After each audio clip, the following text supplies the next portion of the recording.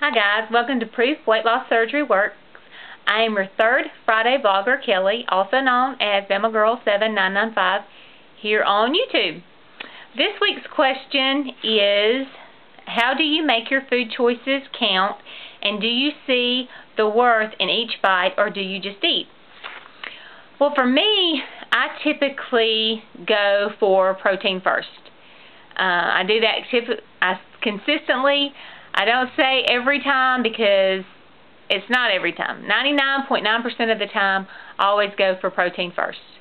Um, when I'm when I'm in the grocery store, I look at the back of uh, the products, uh, read the labels, and see the ratio of the protein and the calories.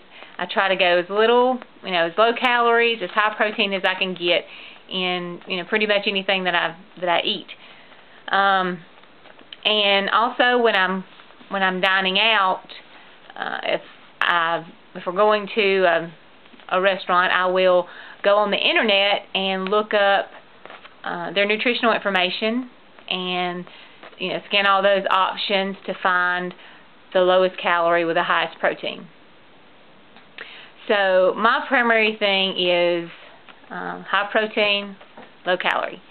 Um, do you see the worth in each bite or do you just eat?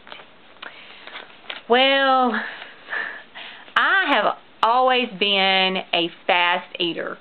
Um, it's been a downfall of mine since elementary school. And so I don't really, I'm not in the habit of savoring each bite. However, my husband is a what I would consider a slow eater, although his pace is probably not slow, it's probably normal. Um, but I do find times when I, when we are eating together, I'll eat a bite, and when he eats a bite, and then I'll stop and then play this little game of, you know, see who can get through um, last.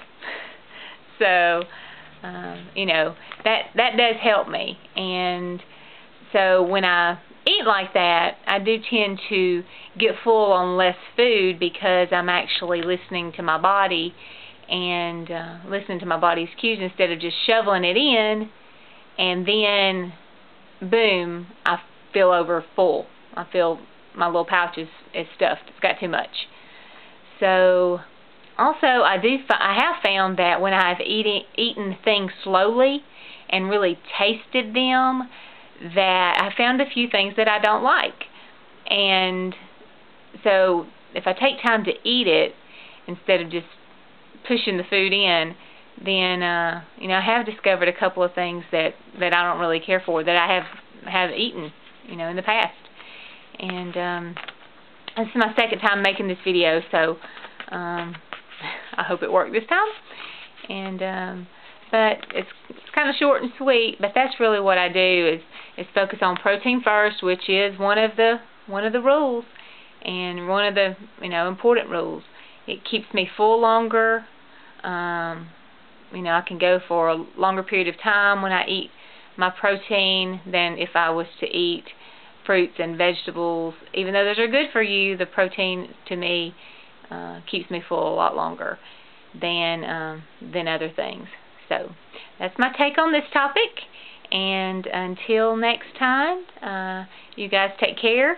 Leave any, you know, let us know, you know,